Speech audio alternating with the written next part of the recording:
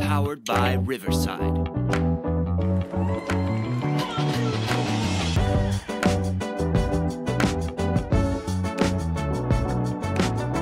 Hello and welcome into the Sad Fan, where we talk about the good, the bad, and everything that made you sad. And you know what used to make a lot of people sad, Wes? What? Not not getting picked for the team. And what's really interesting about that is it goes all the way back to when you were an elementary school kid and why kids wouldn't even just go out for a team. They'd be just they gave up sports immediately because they didn't want that like hurt of being the last or that embarrassment of being the last picked. Nobody And- wanted to be the last one picked.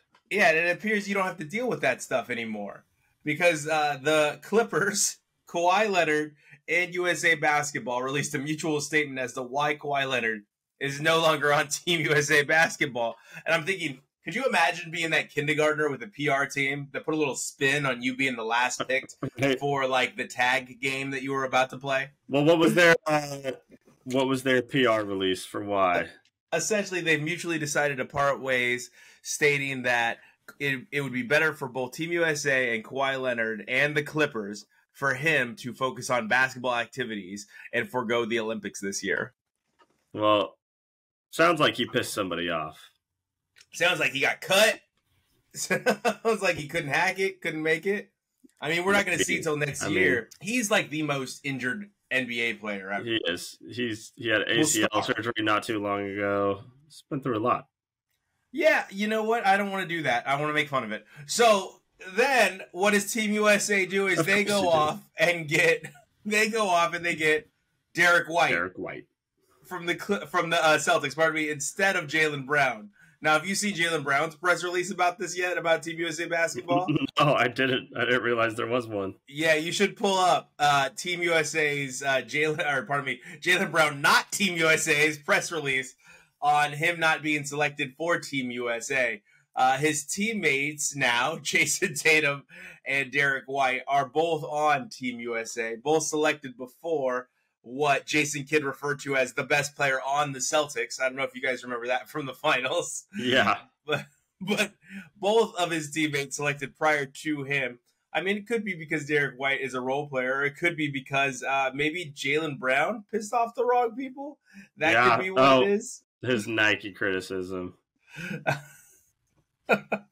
What what did he have to say about Nike? I don't know, but you know who runs Team USA? Who? Nike. Phil Knight. You mean Nike. they supply the you mean they supply the apparel?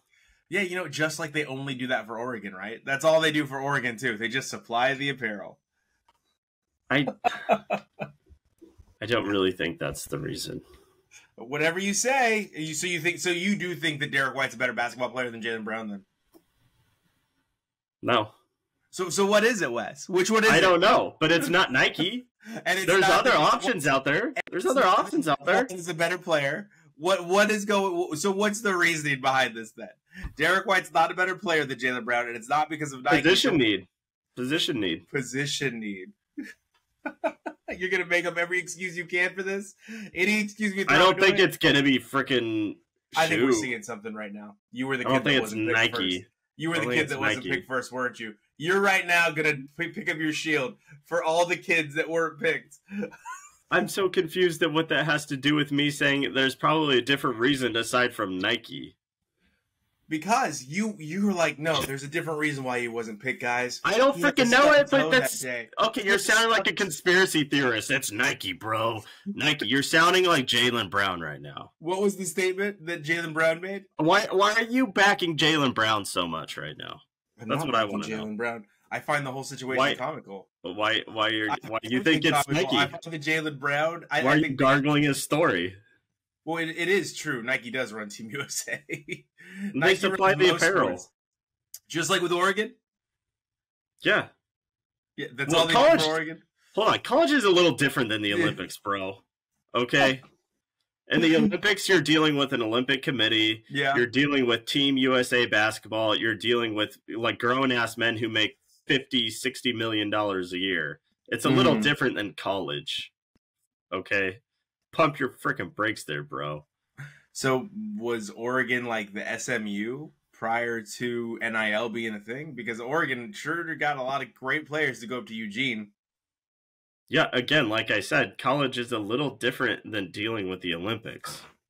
I guess the Olympics is an amateur hour anymore, it, bro. it, in case you forgot, in Oregon's defense, everybody's been paying players forever, but Oregon's definitely been, you know. I mean, little, yeah, Nike has a lot of say. Nike has a lot of say in the Oregon program because they, they put in a lot of sports, millions of dollars into the school, but they supply the apparel for Team USA. Ooh. You're just gonna keep going. They also supply. That. They also supply apparel for every team in the NBA. And no, spo- no sponsorships though, right? On so do they do they pull the strings on every NBA team because they you know supply what? the apparel? Here's, here's, where you go with this, Wes. You you should have right? gone. You should have gone like, here. No, are you no, going no, deep no. state Nike? Nike's the deep state. You're Is that where you're going with this? You're finally you're having fun. But where I would have gone if I was on your position on this is I would have said, "Oh yeah, well, what about Steph Curry? He's an Under Armour player." Well, guess what? I'm not you. you didn't think through that. Steph I don't Curry care about it. Steph Curry and who the hell his shoe deal is with. I don't care about that. I love this. Care. I have nothing as, to do with Curry. I don't really care about who his shoe deals with. Your big Nike Oregon symbols in the camera. Yeah, I know. You're, I don't care. like a I Nike spokesperson. You I'm taking that off. I'm taking. Sound like a Nike spokesperson, like a Nike apologist. What does that have to do with anything? We just Nike deep state, bro. Here's the funny thing: is I don't. Care. Nike's care. controlling sports. The funny thing is, I Nike's writing the scripts for the NFL, bro. The funny thing is, I don't care. It's just a funny situation.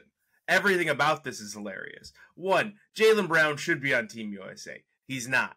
Two, Derrick White shouldn't be on Team USA. He is. Three, one of the players that maybe five years ago we all would have consensus said is one of the best, if not the best player in the NBA, maybe six years, is no longer on Team USA. He got cut, yes. and both his party, his team, and Team USA had to release a statement to protect him. Well, That's Gilbert. Funny the whole situation is funny and you don't want to laugh about it. You want to take it ultra seriously, and that's irritating too. Okay. Good. This I'm glad I'm irritating you. That's my job in life. No, you don't have fun with it. You, no, my job in life is to irritate you. you that's my job. You're getting angry. You're you getting angry. for sure.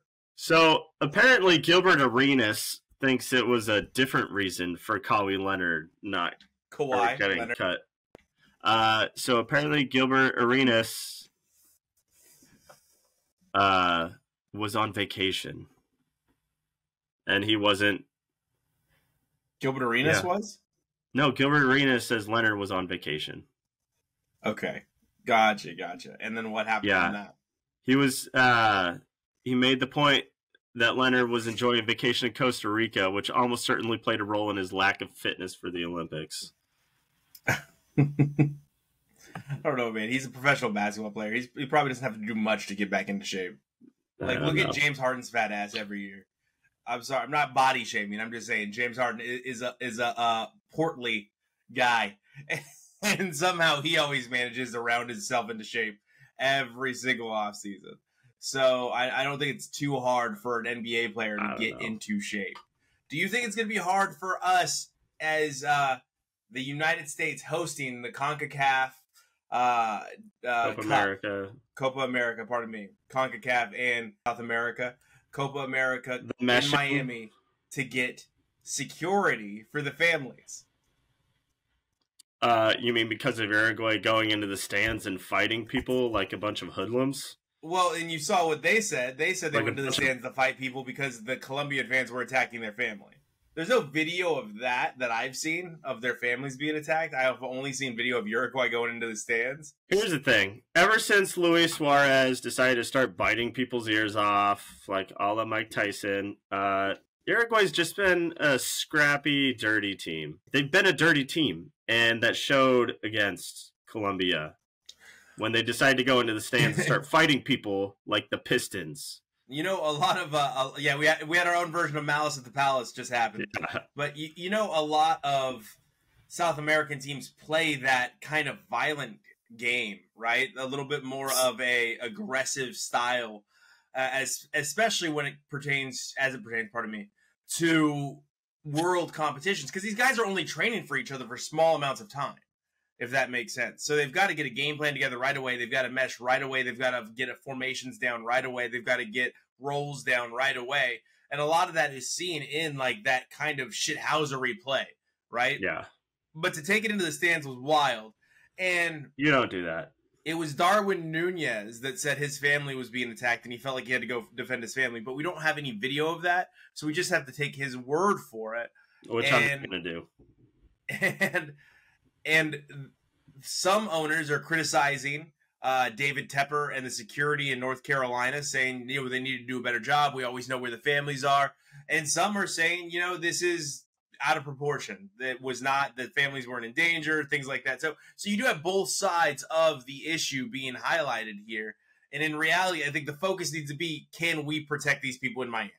Right, because we've got a huge final, a huge South American final. Way to go, CONCACAF. Way to choke. Anyway, All right. South American final with uh, Colombia against Argentina, and who would have known it would have been fortuitous for Team USA to lose five to zero to Colombia, the eventual finals participant. Uh, so here's the thing. Uh, I think security at uh, the Panther Stadium is definitely to blame. Um, they should definitely not be letting fans onto the field, and they should not be letting players into the stands. Like it's pretty cut and dry. That's your job. You do your damn job. Yeah, you always do know it's the where the. Yeah. uh, according to every owner I've listened to, you do know where the families are at all times. Yeah. So if you know where the families are at all times, that that's especially in a game of this magnitude with these two countries uh, in South America, whose soccer federations probably don't like each other too much. You've Yeah, got to make so- sure that that's your number one priority. Yeah, so was was this like a multi-year agreement for CONCACAF to join up with Copa America? Uh, so in South America's competition, they always invite weird teams. I think that this is a one-year thing. I don't know if it's a multi-year thing Yeah. because they've had teams like Qatar participate in their competition. Oh, they've had teams interesting. like yeah, uh, Japan has competed in their competition before. I think Australia has competed in the South American competition. Yeah. Uh, I think this has a lot to do with the World Cup being a North American World Cup this year. So here's the thing: I don't think that the United States is going to volunteer to uh, host or join the Copa America anytime soon. After what happened, a they got embarrassed, and b there was a brawl in the stands. We've had our issues with Mexico when we've played Mexico. We have.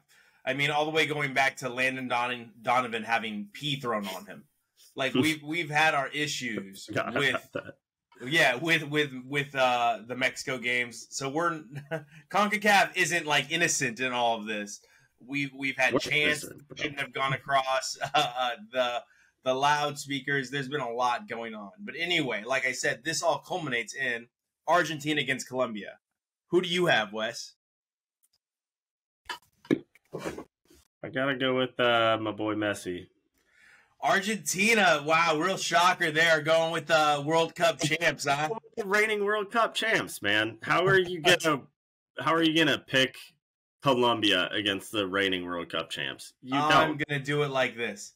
I pick Colombia to win to win tonight uh, against uh, uh, tonight on my side of the world. Sorry, sorry. Tomorrow Yeah. for all the Americans, the normal side of the world. the normal side of the world. Wow, I said, what a That's what I said. So what, what I a said. topic American opinion. Yeah, anyway. that's what I said. We we have to go with someone that's up and coming that's on a hot streak in Colombia. How many reviewers are from your side of the world? Yeah, that's what. Colombia, Colombia hasn't lost a game in year In, in in in what fifteen games, something like that. I don't It's know It's been a record. long time since Colombia has lost a game. I haven't paid Right. attention to Colombia It soccer might be before over Copa a America. year since Colombia has lost the. Wes, let you look peek behind the curtain there. I only pay attention to the big competitions. I don't really know what's going on outside the big competitions. Soccer is not my favorite sport. Y'all know this. He's a much bigger soccer fan than I am.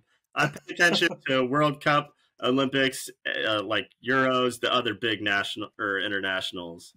Well, And right the, before the Olympics, Sounders game or or MLS. Right before the Olympics, Team USA has let go of their coach Greg Berhalter. So a round of applause for I called it. needs called it last week. done. Oh my gosh. Anyway. You- okay, so here's the thing. You've been calling it like every time we talk about it for the last like year and a half, but I actually finally said I think his disgraceful showing in Copa America was probably his last straw, and I was right. You're welcome. they, Westradamus strikes again. the the pressure was on from the USA fan base, one hundred percent. Everywhere you look, the pressure was on. It was done for Greg Berhalter. So Greg Berhalter, like I said, is a is a sorry coach, had sorry tactics, and he did not know how to handle the dynamic in the locker room. He didn't know how to be the bad guy. He didn't know how to be the good guy. He didn't know how to be a coach, and now he's not. The search is Bye-bye. on. Jurgen Bye-bye. Klopp has already turned down Team USA, stating that he wants to be retired. I just I don't know who it is that they're going to go for right now. I, I've heard Herve Renard is on in the crosshairs. There's a lot of people that they're looking at. And in reality, they need to make a choice because there's only under uh, under what now just over two years left before the World Cup, or just under two years left Uh, before the World Cup. under two years. Yeah. So they need to get a coach. They need to get some friendlies scheduled, and they need to get some international football played so they can do something to prep for the World Cup. Go ahead, Wes. Yeah. Canada's coach has also said he has no interest. Well, why would he? Why? His why team would, is actually good. His team can actually make a, a placement game in Copa America. Well, Jesse Marsch is also. Thank you for not completely disappointing CONCACAF Canada.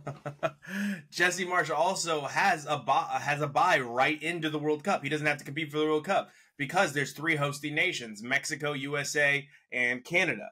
So Yeah. Canada has a buy into the World Cup. USA has a buy into the World Cup, which makes it a little bit harder because they don't have to play in tournament play to make it into the World Cup. Which again means Team USA has to schedule some friendlies when they get their new uh, head coach to mesh together to understand what it's going to take to play under this new system. And I just don't know if it's enough time. It's yeah, it'll be tough for whoever comes up. Um, but I mean, I think it's pretty obvious the Canada coach was like, I don't want anything to do with that dumpster That fire. federation, yeah, the USA Soccer Federation is just trash. Uh, USA Women won today, so that's good. They won their game, and they're still figuring it out. But that team's stacked with talent, just stacked with talent, and they know how to use it. Also, I think- I mean, can can we petition for FIFA to get their head out of their asses and actually like kind of lift some of the restrictions on the Olympic soccer for the men's? They will.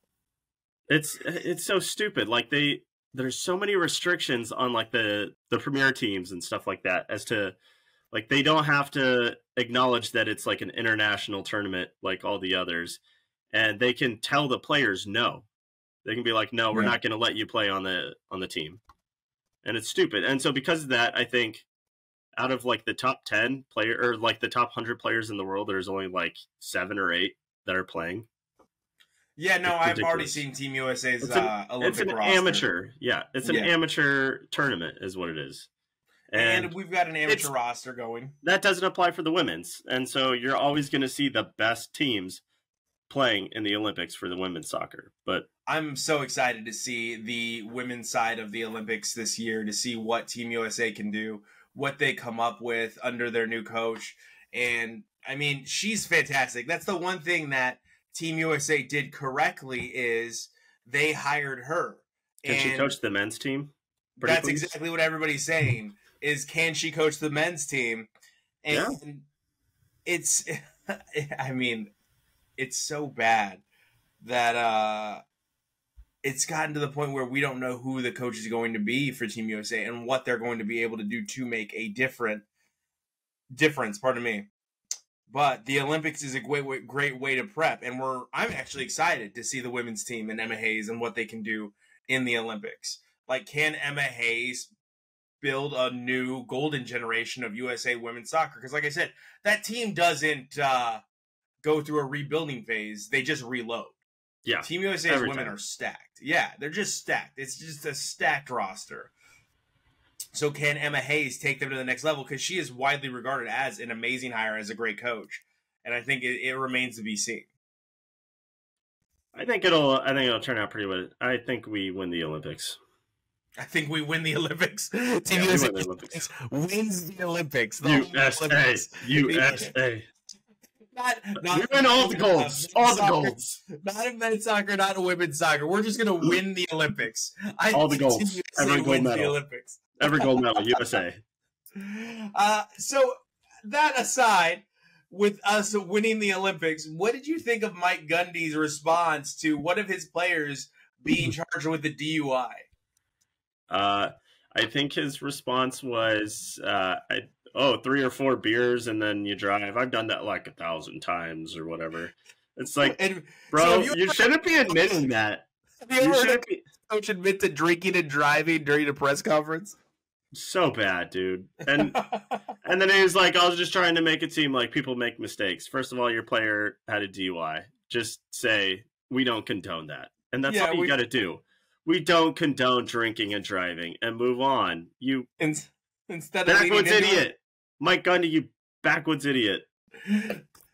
I don't know. I don't even Bro. know what PR spin has to be done for this. I know they're already got the wheels spinning on how to fix this, but yo, Dude, they gotta have a headache right now. I'm the coach of this football team. Oh Would god! routinely have three or four drinks and then go driving? What, what what kind of human even says that out loud at a press conference? Like this, is the An idiot. It's the craziest thing ever. And he's like, "Yeah, maybe I'll punish him by giving him 50 carries a game." Wes, do you know who the number one running back, like by consensus, right now in college football is? Who? Actually, that don't know. guy. That guy. He's gonna punish him and the team. By feeding him the rock. Yeah, exactly. The best running back in college football is going to continue to get the ball, and this is just What's crazy. that? You haven't had a concussion yet? Well, you will now. Gonna, guess it's really- I'm gonna punish him by giving him a concussion so he makes even dumber decisions. I guess it's really about the kids, right? Developing the kids and teaching them how to make right and wrong decisions. It's not about the money or winning. So dumb. So dumb. Your favorite team. in this is why you're not in the SEC, Oklahoma State. Idiots. I, I, I'm not gonna lie. I think they made the right decision to not go into the SEC because they would never have a shot in the playoff. they oh, the hell no. No. This is their But, only uh, shot. Wes, your your favorite baseball team, the New York Yankees, Aaron Judge, hit his hit his 34th home run. Hit his 34th home run before the I don't care how many home runs he hit. Setting a Yankees record. And why aren't we more interested in this stuff anymore? That's an interesting gesture to do on Because TV. it's the Yankees. Nobody cares about Aaron Judge or the Yankees. And also, he's probably on roids. He's probably on roids. You're gonna be the you're gonna be the first one to say it. You're gonna throw Yeah. that out there recklessly. We'll so that it. if, Say it. if he Yeah. pops, Sue for it, bro. He's on roids. This is why you did it. So if it actually happens, you can be like, I predicted that. I said that was gonna happen, and it happened. Rewind the tape. Well, I'm pretty sure the whole Yankees team is on roids because The whole Yankees team. Now we've one upped it. Now we've gone up an extra Yeah. level. We've gone from he's probably on roids to I'm pretty sure the entire Yankees. the FBI team. is investigating massive scandal. It's gonna break any day. Why Deep state Yankee roids. why is this not a bigger story though? Because it's you, at the All Star break and, and nobody cares. You're gonna stick to it. You might represent most of America though. I'm not gonna lie. Like most of America might be in the same boat as you. Maybe you're right. Maybe nobody They don't cares care about baseball until we get to the playoffs. I think it's because he's not competing with anybody. I think it's because, like I said, there's no race right now. There's no home run race. It's just him hitting That's 34 true. home runs. That's a good point. There's Yeah, if nobody there were else. multiple players, yeah, if there were multiple Yeah. players, we would be all over that, right? Yeah. Um, yeah, I mean, it's kind of like when one guy's just doing all the work. It's like, cool, bro. We want we want competition. We do, and we want to see it, and we want to thrive on it, and we want to eat it up when it's going on. Uh, And also, a no one cares because he's a Yankee. We have a big competition going on right now, and we've been waiting and waiting and waiting to talk about it. And we're going to end the show with it. We've got the Euros, and we've got the Euro final coming up. And what an exciting game we had for England against the Netherlands, and what an exciting game we had for Spain against France. I mean, Most two- of those were come from behind wins. what and what a goal from the 16 year old Spaniard with his left foot hitting it with his. Le- I mean, gosh, anyone that watches European that's football are He's 16. yeah, watches football, uh, European football or soccer on the regular understands what a difficult shot that was. What an insane shot that was. And he's 16 years old. And he moved the ball onto his left foot and rocket launched Right it between his the goal. legs. Was this the one right between his legs? Yeah, yes. Gee, that was crazy. Yeah, I was like, how do you do that? So He's Yamal, 16. like this you know dude's this dude's still in high school, and he's so you like know what's funny about this dude, now. Yamal? You know what's funny about him?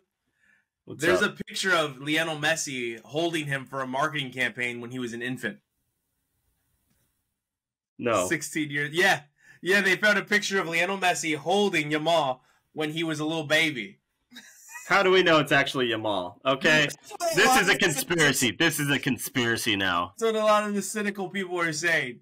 But if you go ahead and look it up during the show, I can filibuster for you for a minute so you can see it. But there's a picture that went viral, and it's Lionel Messi holding Yamal uh, when he was a baby, and I don't need to look was up doing a lies. marketing campaign. I don't need to look up lies. This is just lies to make him even more famous. Like, dude, you're 16. You're already famous. You made an awesome shot. You don't need some little made up AI generated image. AI generated. What is going on with you right now? Anyway, the England game was crazy, and you know who scored the winning goal for England? Was it Jude? No, it was Ollie Watkins. Ollie, Ollie oh, that's Watkins. right. Ollie, Ollie Watkins. Yes, Ollie, yes. Ollie Watkins free. So Ollie That's my brother. Watkins. That's my brother. Do you know who Ollie Watkins plays for? Aston Villa. He's one of the best strikers in the Premier League. Cool, and bro. he scored, and the Villa fans went nuts. The Villa fan went nuts. And what's great about that is I was literally talking to a coworker whose son uh, plays soccer here in England. And I was like, you know, I'd really love to see them substitute in Ollie Watkins. I mean, Harry Kane is great, and I get it. They're never going to take him off. He's the captain. Oh, But no. he, he looks like he's been having trouble running up and down the field. He looks like he's a little hurt. And I think it'd be cool to see somebody that's healthy that can keep up with that front line of England running down the field. And sure enough, they sub him in. And what does he do? He creates a gap in the defense and he scores the game winning goal in the 90th minute. And I just, I, I found that absolutely fantastic. I really did. I truly found that to be like uh, an amazing moment. But Harry Kane made the penalty. And a lot of people thought that was controversial, that penalty in, in general. Yeah. Um, so first of all, congrats to England and congrats to Spain. Uh, but while we're on the top of England players, uh, I came across something today that was actually like kind of gross. Um, so Declan Rice, um, I guess like recently his girlfriend's been getting like a lot, like both of them have been getting a lot of backlash because she's like a little bit heavier set, and everyone's like, "Oh, he should dump her and get Jesus like Christ. being a model. I'm like, what the hell is wrong with people? I'm like, this dude's like loyal to his girlfriend that he's probably known for a long time, and that's a bad thing. Yeah. It's kind of gross. It's That is it's annoying. Come on, grow people's people. personal. This is the this is the biggest issue I have with anything. Well, not the biggest issue. I, it's not. Uh, let me not get into how social media is keeping people very stupid and they're making stupid decisions and believing anything that comes across their timeline. But also this harassing people and their families and stuff. Like it's come on, Yeah, grow up. Like finding things on the internet, it, it's just disgusting. And I think honestly, it, at some point in the future, that will be a crime, like defamation of character or something will come into play here, where they're just destroying people's lives online for no reason other than they're just terrible people. sad, stupid. But I don't want to end the show there, Wes. I want to end the show here. So you you have your opportunity to actually make a real prediction again. You've already called Argentina. I've called Colombia. Let's see if we're on opposite sides of the fence here. I'm going to make my pick first, so you don't Portugal a while back, and uh, yeah, I was told you you were wrong. I told you you were wrong. So I mean, here's the thing with Portugal. I think um, I think they were bit by Ronaldo's ego.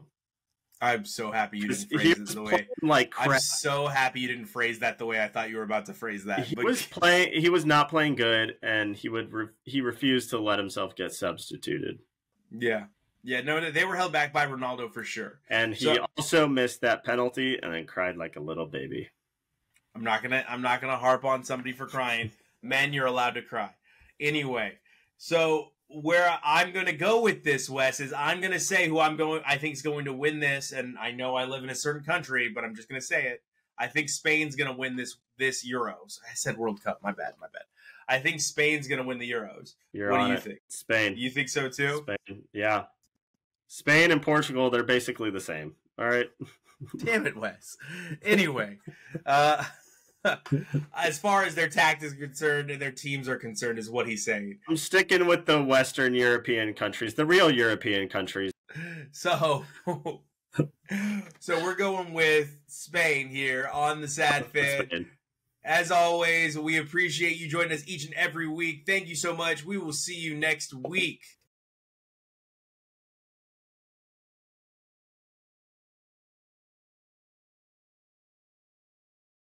Adios. Go Spain. Viva!